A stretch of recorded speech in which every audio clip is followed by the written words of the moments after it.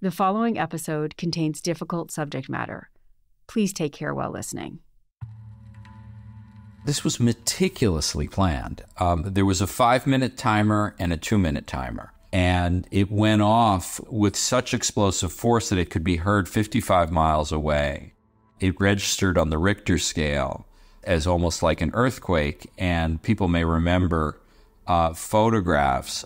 A third of the building collapsed into a heap. 30 years ago, a bomb went off in a federal building in downtown Oklahoma.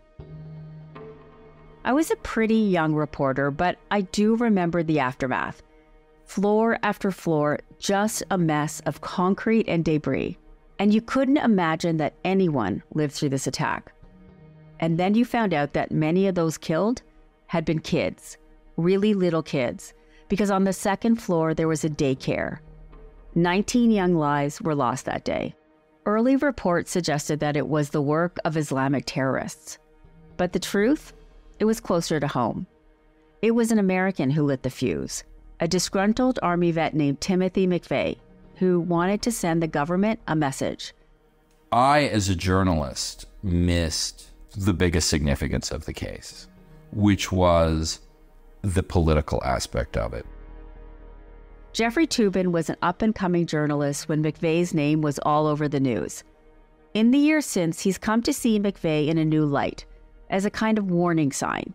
It's all there in his new book and podcast called Homegrown Timothy McVeigh and the Rise of Right Wing Extremism.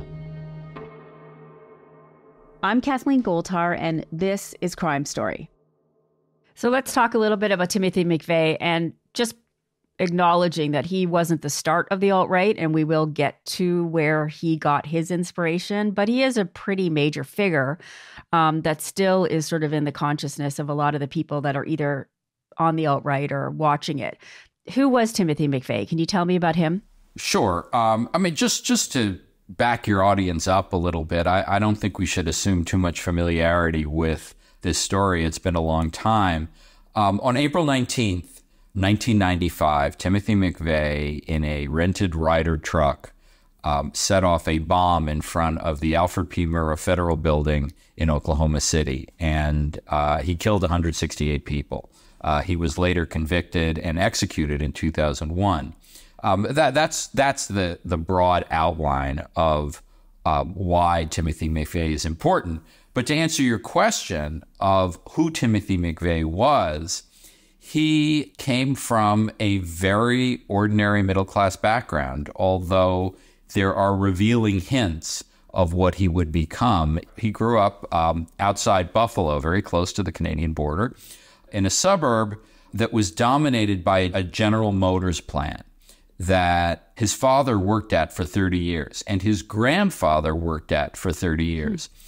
By the time McVeigh came of age, he was born in 1968. So by the time he came of age in the 1980s, he was aware that the industrial economy of the American Northeast was declining a lot and there were no more jobs there. So this this unsettling economic insecurity that he grew up with was part of, of what shaped him.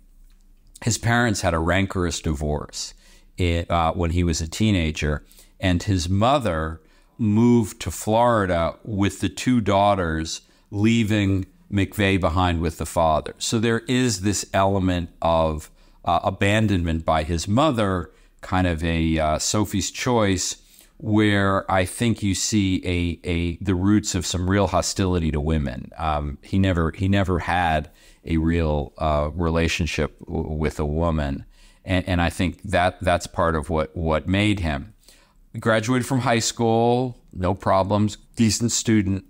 Uh, didn't show any interest in, in going to college. Um, worked as a security guard for a while, didn't really know what to do, and then joined the American Army, where he was a very good soldier. And he was uh, a, a, won a Bronze Star in the uh, first Gulf War, 1991, in um, Iraq. But it was during uh, that period uh, that his anger and his radicalization really set in. And it was after he flunked out of the special forces. He tried to make it to the special forces. and that the failure left him adrift and angry. And it was at that point he went into you know full full bore um, right wing extremist activity, leading to the bombing in 1995. I just want to spend a bit of time during his time in the military. I really appreciated how you had one some of the people saying that they quite liked him and he didn't seem all that memorable in a way. But then you had a few guys who were like uh, uh black servicemen who were like, no, he was racist. So, I mean, I found that really interesting that it could be hidden, I guess, or just not noticed. But he was already sort of entered that world heading in that direction. The, the key thing you have to understand about McVeigh's roots is that late in high school, but before he even joined the military, uh, he mailed away for a book called The Turner Diaries, which was a dystopian, horrible novel about a race war in the United States. He found the advertisement for uh, the Turner Diaries in a magazine from the National Rifle Association. And the great cause of McVeigh's life was guns, his mm-hmm. obsession with guns, and his fear that the evil federal government was going to take away uh, his ability to, to own and use guns uh, was the central motivating factor of his life. The Turner Diaries postulates that um, the evil blacks and Jews take over the federal government pass a law calling for confiscation of all privately owned firearms. And Earl Turner, who was the protagonist and narrator of the novel, leads a rebellion which begins with a truck bomb placed outside the FBI building in, in, in Washington, which was very much the model for the Oklahoma City bombing.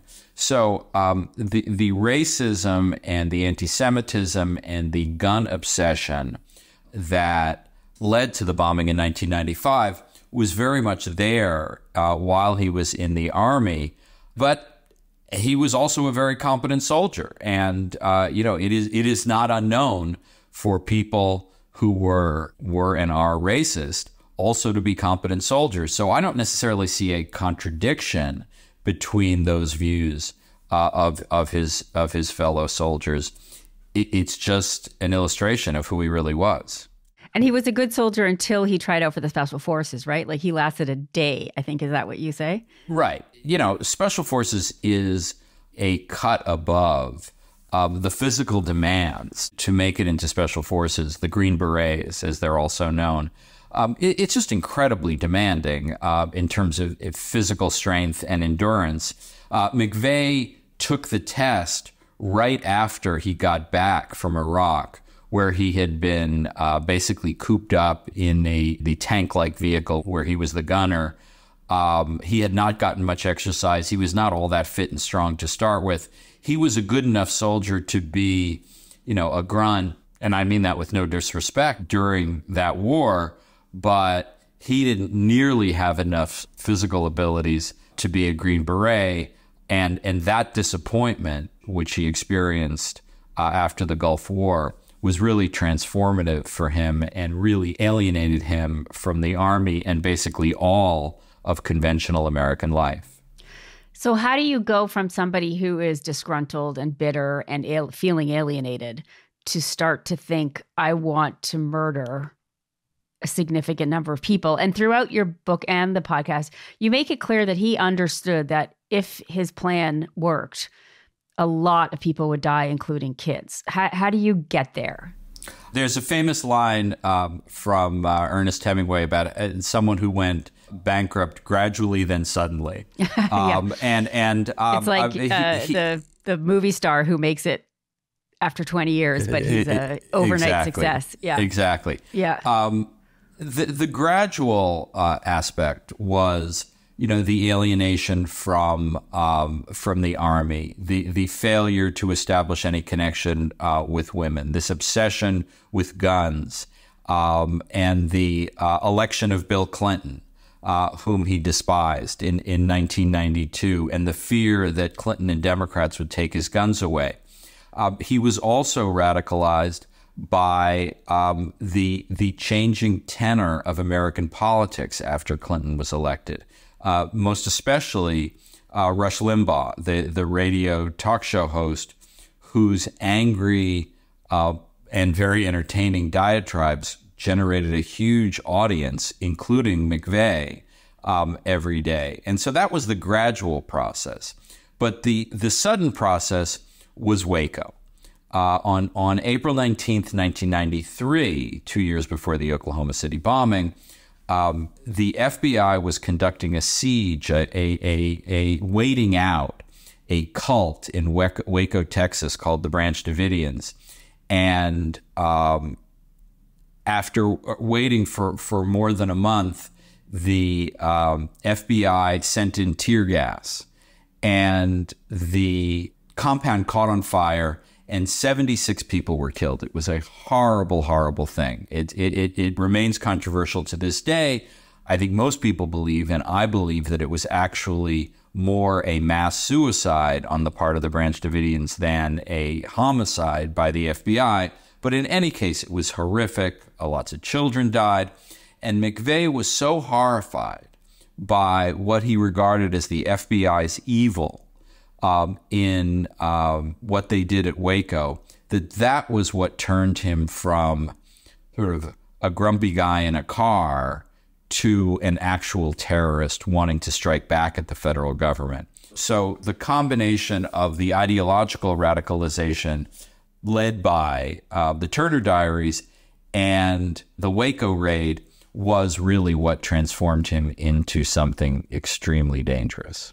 I find it so interesting that the Waco raid, you know, McVeigh wasn't the only one who radicalized over it, right? Like there was other, the fallout from Waco still exists, but like you said, but even at the time, there were other people, men, uh, alt right men, I guess they were called alt right then, that saw Waco as a calling card. Waco to this day remains a um, slogan, a motto of how the federal government is a force for evil. And again, bringing it to the present, when Donald Trump held his first rally uh, running for president this year in 2024, I guess it, it was last year when he began his campaign for the 2024 election, he held a rally in Waco. And the symbolic resonance of that uh, was unmistakable and, and I am sure intentional uh, because Waco remains a symbol of the evil of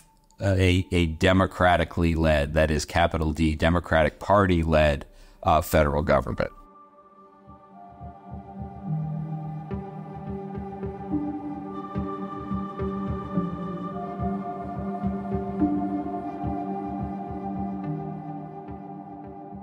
Let's get back to McVeigh then and his plot. So he's he, Waco happens. He becomes, like you said, a guy who uh, was in his car listening to Rush Limbaugh to somebody who wants to do something how does that start? Where where does he start to to put this plot together?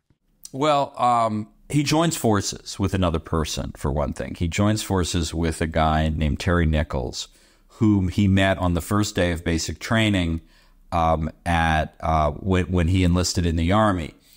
Nichols had similar views, um, anger um, at the federal government, but he had none of McVeigh's energy and frankly evil charisma. I mean, he he was a loser. Uh, he was uh, almost a decade older than McVeigh. Um, he had failed at job after job. He had a failed marriage.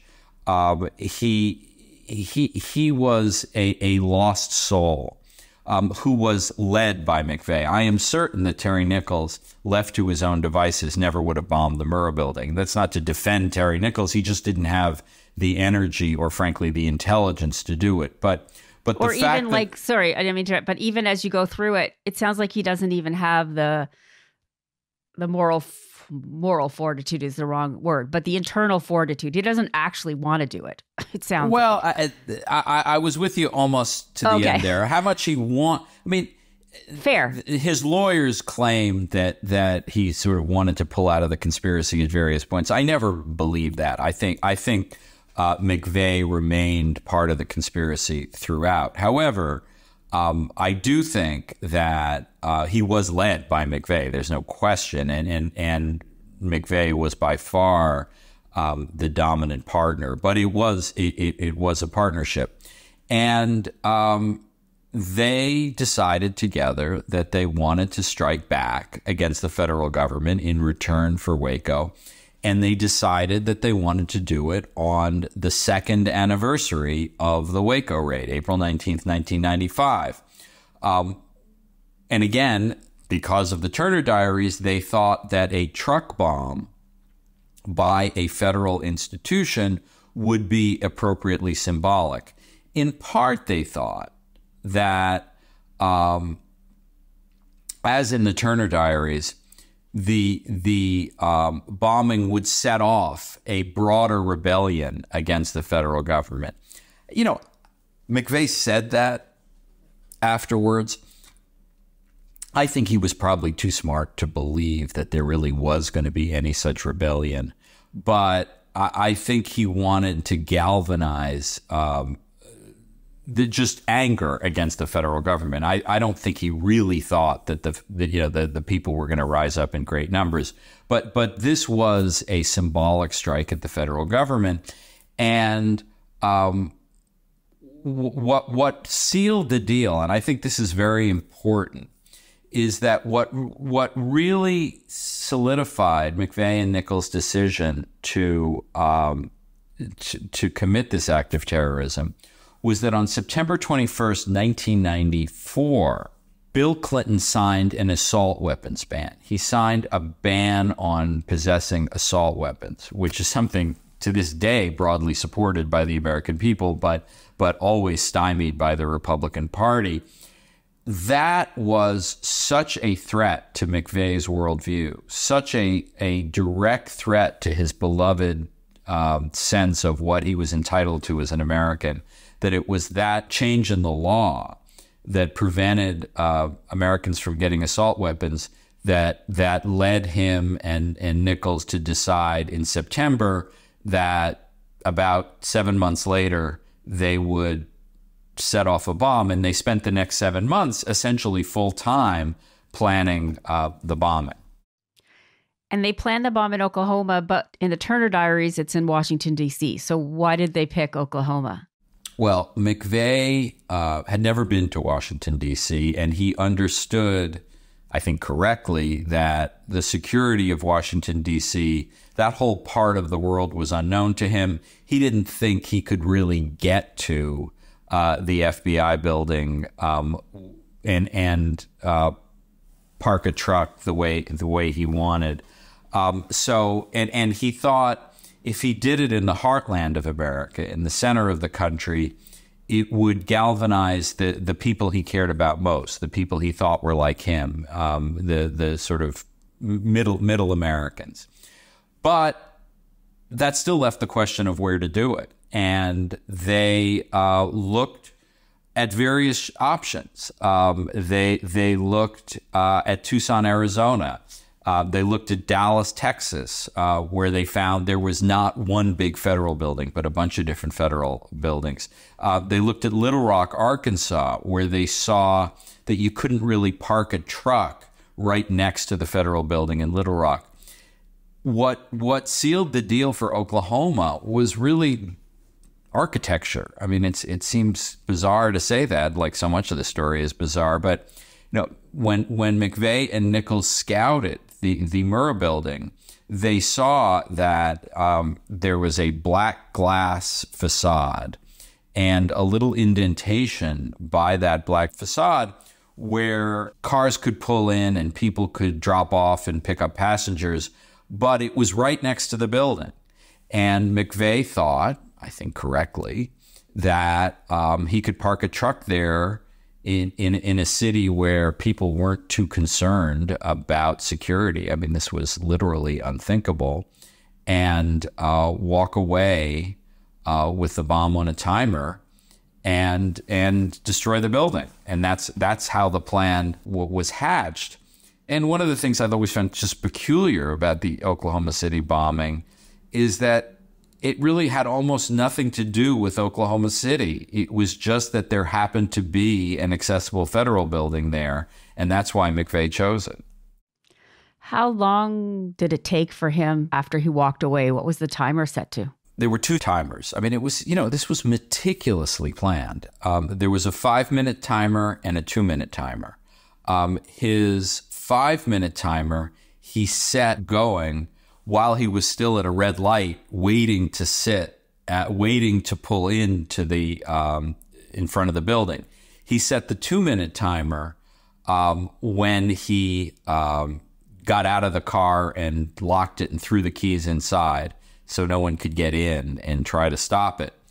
So it was about two minutes after he um, he and Nichols uh, the the day before had planted a getaway car in an alleyway about three blocks away, and so he he was walking to the getaway car uh, when the bomb went off at precisely 9:03 a.m.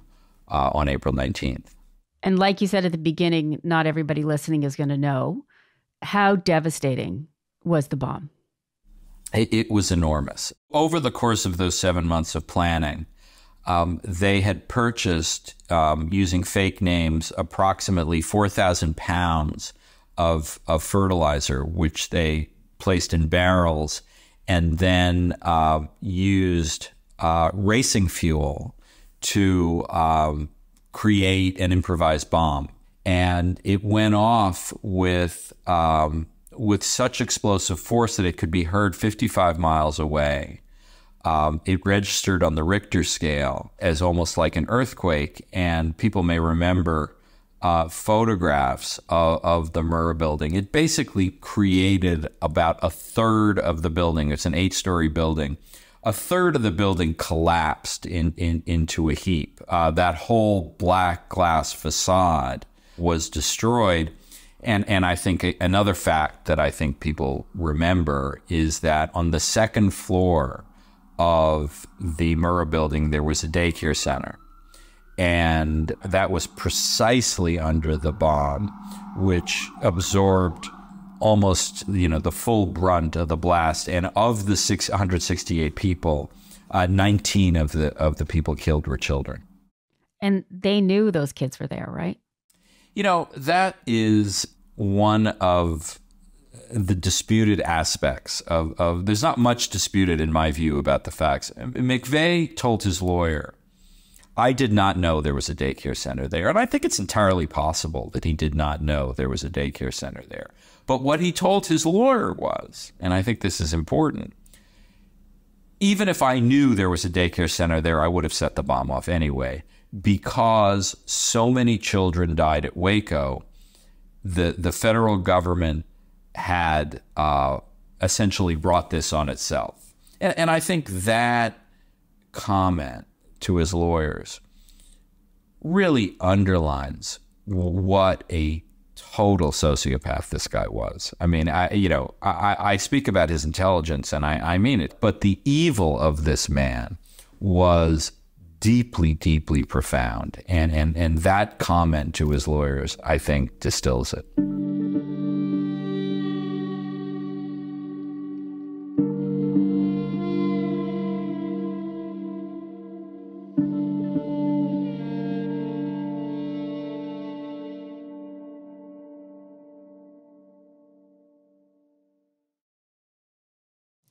What were you doing on that day?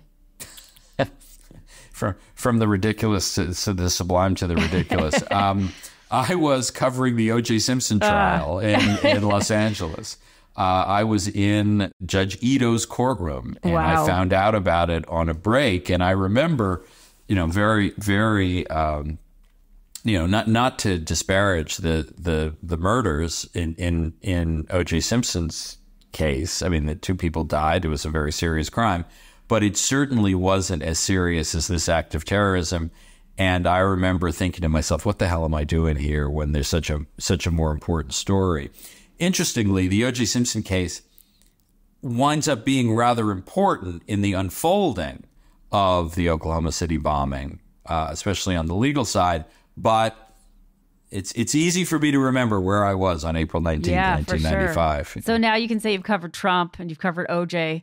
Feels like you get to the the seminal American ridiculous trials. That's what I do for a living.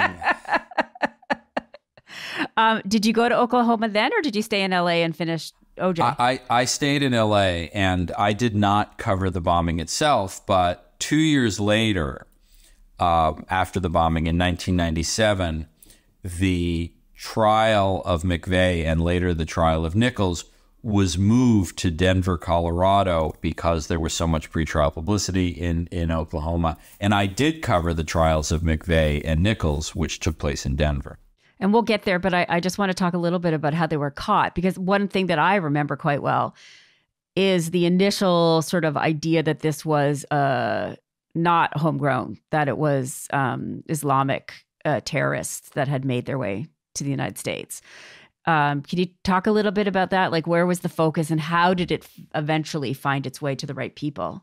There was a lot of focus on Islamic terrorism, and um, it had only been two years since the first World Trade Center bombing, 1993, where it was Islamic terrorism and it was a truck bomb and it was even a Ryder truck. I mean, it was not irrational to think this might be Islamic terrorism. What I think is interesting, especially in retrospect, and, and especially after 9 11, which was, of course, Islamic uh, terrorism, there has been an effort, especially on the part of many on the American right, to define terrorism as exclusively something that comes from Islamic radicals. And um, there was an effort to dismiss uh, what what happened there in, in Oklahoma City and, and, try to associate it somehow with Islamic radicalism, but it wasn't. The way the crime was solved um, was twofold. One was um, in the immediate aftermath of the bombing, um, a, a truck axle flew through the air, an enormous truck axle flew through the air 100 yards away. Think about that. You know, what kind of explosive force it takes to throw a truck axle 100 yards. Um, and there was a vehicle identification number, and it was uh, traced to a Ryder truck rental in Junction City, Kansas, where it had been rented two days earlier by someone named Robert Kling. That, that was one route. 90 minutes after the bombing, a uh, Oklahoma State trooper named Charlie Hanger noticed that a beat up old Ford Mercury was driving north um, on uh, I 35 north to Kansas out of Oklahoma with no license plate. McVeigh, uh, and it was McVeigh's car. Charlie Hanger stopped him and saw that McVeigh was carrying an unlicensed gun. If he had just stopped him for not having a license plate, all he could have done was getting getting him a ticket. But because he had an unlicensed gun, he arrested him and took him to the lockup in Perry, a small town uh, north of Oklahoma City. Just a parenthetical note here. In the intervening um, quarter century, McVeigh's views about gun rights have prevailed, especially in states like Oklahoma. And now in Oklahoma, you don't need any sort of permit to carry a gun. So if McVeigh had been arrested today by Charlie Hanger, he couldn't have been held.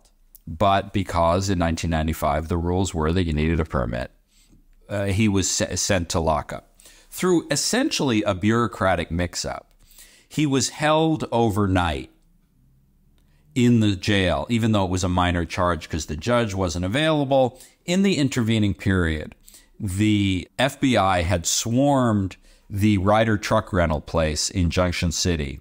And they started looking around Junction City, asking people in hotels, motel stores, Have you seen a Ryder truck? They found a woman who rented a, a truck to uh, someone named Timothy McVeigh two days before the bombing. So the truck was rented under the name um, Robert Kling. Oh, no, the truck, the truck was rented under Robert Kling. The hotel. The hotel room was rented under the name Timothy McVeigh. But what really sealed the deal was that they checked the phone records. McVeigh had ordered Chinese food, delivery Chinese food from a restaurant in, in Junction City, and he had used the name Robert Kling. So the FBI quickly determined that Robert Kling and Timothy McVeigh were the same people, and that was the guy who rented the Ryder truck. But how did they connect Robert, the Chinese food eater, with Timothy McVeigh? Because he had ordered food delivered to room 25 at the at, at the at the um, Ho- at the motel. at, at the motel which was the room rented to Timothy McVeigh and later they found the delivery guy who recognized him and and God, yeah, okay. but so so they get the name Timothy McVeigh they run it through the databases and in, in short order they find Timothy McVeigh has just been arrested north of Oklahoma City on this minor gun charge they frantically call the lockup in Perry, Oklahoma, and say, Don't let this guy out. We think he's the Oklahoma City bomber. And they don't let him out, and he's arrested. So basically, McVeigh is is arrested 90 minutes after the bombing and is never, you know, and never sees the light of day again after that. That's it's incredible, good, lucky, and good police work, and also stupidity on his part. Well, you know, keep the name. Stupidity perhaps. But, you know, one of the things that is, I mean, I think they're not, as I say, there are not a lot of mysteries about this, but there was a kind of fatalistic aspect to McVeigh. Hmm. And I don't think he wanted to get caught in the sense of he really just wanted to get caught. But there was a sense that for all the meticulous planning that he engaged in, and it was really enormous to, to do the bombing, he had very little plan for what he was going to do afterwards. And uh, part of why, you know, he sort of used the name Robert Kling, but also rented the truck under his, I mean, rented the hotel, the hotel room under yeah. his own own name. There was a kind of fatalism about it. So I'm not sure it was entirely stupidity, but it was there was an aspect that he sort of knew the gig was up after the bombing. Do you think there was something to him wanting to be known for this? I mean, if you're going to do something so spectacular and and in his mind important, why would you want to be anonymous? Well, that this was why it was so hard to defend him. His lawyers found, and that's a substantial part of the book and and the podcast, which is he had inconsistent goals. Uh, he would he, he sort of wanted to be acquitted, but he wanted it to be known that he did this in the car in, in the getaway car he had um, a, a, envelope full of photocopied right wing literature, including excerpts from the Turner Diaries, basically explaining the justification for why he did this. Um, you know that that that the federal government had become evil. You know, he said, you know, maybe he was going to mail it to, you know, the the press later. So so that that is another aspect of why his post bombing uh, security was so poor was because there was an element of him of of if not wanting to be caught, wanting people to know why this had been done. Yeah. What happened to Terry Nichols? How did they catch him? Terry Nichols, uh, they went to McVeigh's father in back in Buffalo, outside Buffalo, and they said, "Well, who are his friends?" Um, and basically, McVeigh didn't have many friends. He basically only had two friends um, Terry Nichols and a guy named Mike Fortier, who also was aware of this plot, although not involved in it. And they went and searched uh, Terry Nichols' home, which was not far from Junction City, Kansas, and they found receipts from the purchases of the fertilizer. They found uh, a phone card, which is what people used to use in the 90s for long distance calls where that, that tied him to McVeigh, and and that that was how they found that okay. that was how they caught Terry Nichols.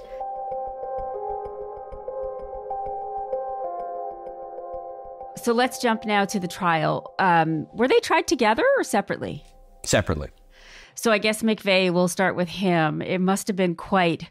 You were there. I mean, how big a spectacular deal was it? Well, um, under the American rules for federal courts, uh, it was not televised. So that limited the public uh, involvement in, in it, although it was still highly publicized.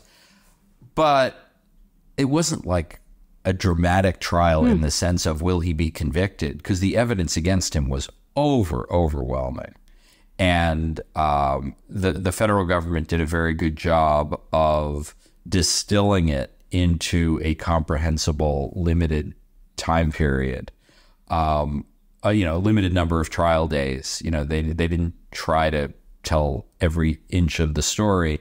So it was important and it was at times dramatic and it was always very sad, but it wasn't exactly um, a, a, cliffhanger. I mean, okay. it was just obvious that he was guilty. So now with the the space you've had to look back, what has stuck with you then about that whole trial? Well, that that I as a journalist missed the biggest significance of the case, which was the political aspect of it. That you know, I, we we covered it, and I covered it, I should say, sort of as a true crime case. You know, the truck axle leading to the Ryder truck rental, leading to the motel, leading to the Chinese food, and all of that um, was, was compelling and and sort of fun in in a true crime way. But the why of the story um, wasn't it wasn't invisible, but it, it was neglected, and and the fact that McVeigh um, was part of a movement. Um, obviously, you know most people in that movement weren't as violent and and evil as McVeigh was, but he was part of a movement, and that was neglected, at least in my coverage uh, of the trial, and that's what brought me back to it. Yeah, I think Americans, particularly, but probably North Americans, are still naive a little bit to that, or at least resistant. But what I found so interesting about your work is your interview with Clinton, who actually did see it. Right. No, it was totally fascinating to me. I, yeah. didn't, I didn't know that. That Clinton, who had been governor of Arkansas for 12 years, had seen uh, right wing extremism up close, had seen the militias uh, in action. And when he saw the Oklahoma City bombing, he said to his staff, now he didn't want to prejudge the case publicly, but he said privately, this was not Islamic radicalism. This was the militias. I know these people. And what brought me back to the story was something that happened in October of 2020 in October of 2020, a, a, group of people affiliated with the Michigan militia was arrested for plotting to kidnap the governor of Michigan, Gretchen Whitmer. It's crazy plan.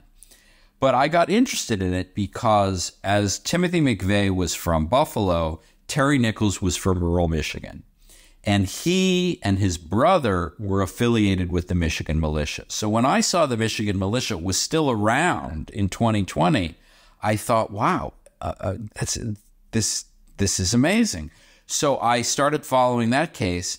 And then I started connecting the dots and seeing how the militia movement, and you know, you call it the alt right, it, it, has lots of different names, uh, but sort of violent right wing extremism has been much more enduring and active since 1995 than I had expected. And that was a big part of Homegrown, the book, and Homegrown OKC, the podcast. And then that brings us to January 6th. You asked this question, and I found your answer fascinating. Would we have seen Timothy McVeigh at January 6th? 100%. Yeah. 100%. Because if you look at the obsessions of the people on January 6th, the ones who were arrested, you saw three things that were at the core. One was guns. The idea that the federal government was was not going to take away they weren't going to let the federal government take away their guns. Obviously, the precipitating factor of January 6th was to try to get Donald Trump inaugurated for another term. But the reason they wanted Donald Trump kept as president is because they wanted to, he they knew he would protect their guns. That's one. The other thing was if you look at the rhetoric surrounding um, January 6th, they were all talking about the American Revolution and the founding of the country and 1776 and the and the Constitution and the Second Amendment. This idea that the rebellion against the British was comparable to the rebellion against the federal government more than two centuries later is something that drove McVeigh and it drove the uh, January 6 people. And the third thing, after guns and the founding fathers, was simply the belief that the cause was so just that violence was justified. And those three things would have gotten McVeigh um, to the crowd on January 6th, no doubt in my mind. Do you think that the people that were there on January 6th knew about Timothy McVeigh, understood what he had to say? Like how how actively did they know his name or how inherent was what he thought behind what they thought? That, that's a great that's a great question uh, because Timothy McVeigh is a name I would say that most Americans know to this day. It, it, it is like Lee Harvey Oswald, who killed John F. Kennedy. I mean, it, it is a, a, well, we don't have to get into that. Um, the um, it, it is it is a name of American villainy that is almost universally known and reviled and reviled. And and if you were to ask the January 6 people, other than a very tiny handful, they would say McVeigh was horrible. We're nothing like McVeigh. We don't believe in bombing buildings. We are very different from McVeigh. That's what they would say. That's what Rush Limbaugh said when it when when Clinton quite correctly drew the line between uh, Rush Limbaugh and McVeigh. He said, "I don't. That that's a that's a calumny. That's an insult. I you know we, we are not mass murderers."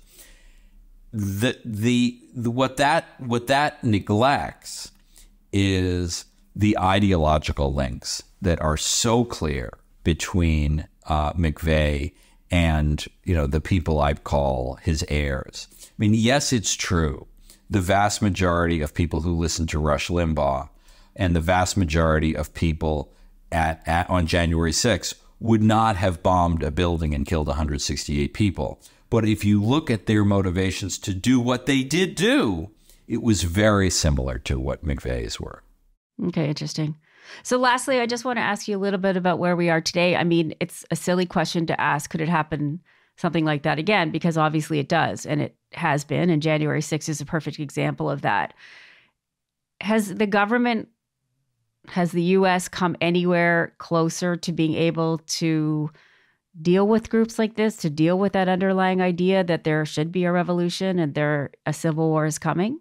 I, I think Joe Biden has seen the the threat directly, and he gave a speech before um, the midterm elections in in Philadelphia that I thought drew the line pretty well, and I think the FBI um, has done a, a, a much better job of uh, keeping an eye on right wing extremism um, in, in, the years since.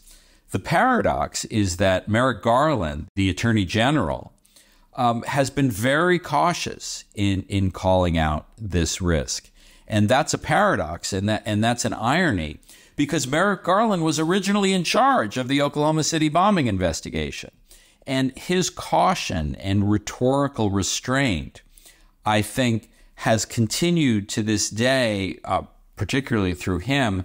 And I, and I think that's unfortunate because he is in a position now where he could call attention to the continuing risks, and he's been very reluctant to do that. And, do you have any idea why? I, I, think a lot of it has to do with his personality and the uh. fact that he spent many years as a judge and oh. does not believe in uh, law enforcement officials talking much except through the cases they bring. Yeah, they don't um, like to sway politics. They believe they, in they, like, they, you know, he, he's, he's, the cases he, speak. Right. He's very averse to being seen as a political figure. I think he's been very naive in uh, failing to see that the right sees him as a political figure anyway. It's not like he, he that that effort was successful, and I think he has failed to call appropriate attention uh, to this threat. And and you know, just if I can you know, draw one distinction between what's going on now and what's going on with McVeigh. You know, because of the assault weapons ban, uh, McVeigh couldn't just buy an assault weapon and shoot up uh, a school or, or a Walmart. So we went to all this trouble of, of building a bomb. Because that assault weapons ban expired under the presidency of George W. Bush, it's now very easy to buy an assault weapon in the United States. And if you look at the right wing extremists, they don't have to build bombs anymore. They just buy an assault weapon and they shoot up a synagogue in Pittsburgh. They shoot up a church in South Carolina. They shoot up a Walmart in El Paso. But all of that is because it's easier to engage in this mass violence uh, than it was when uh, McVeigh uh, did, yeah. did the Oklahoma City bombing. Can I just ask you? You said the thing about so Biden made a good speech, that, but he also is a Democratic president. You mentioned in the podcast how the Obama years torched this as well. Do we just need a different kind of Republican president to do this? Like, will the Democrats be able to actually shift it? Because it feels like the democraticness is the is the the spark, or at least they will never listen to one. Well, I, I mean, I, I I think trying to accommodate these crazy people and saying, "Oh, well, we'll do we'll yeah. do we'll we'll do a Republican president." I mean, I think this is very close to what much of the Republican Party is today. I mean, look at Donald Trump. Look at how Donald Trump talks about violence.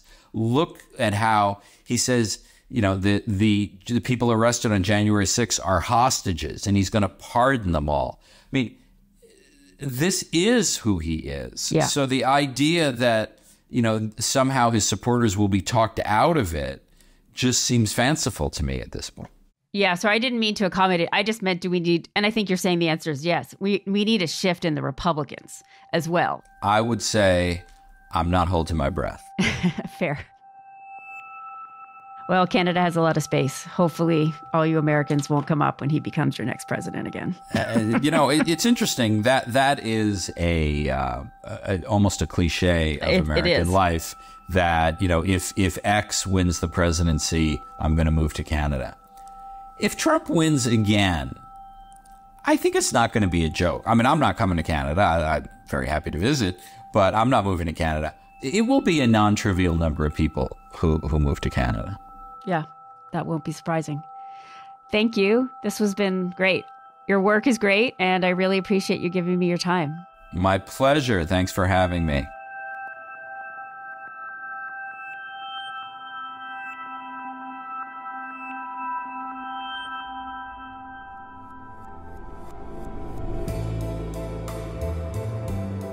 You've been listening to Crime Story from CBC Podcasts. We drop a new episode every Monday.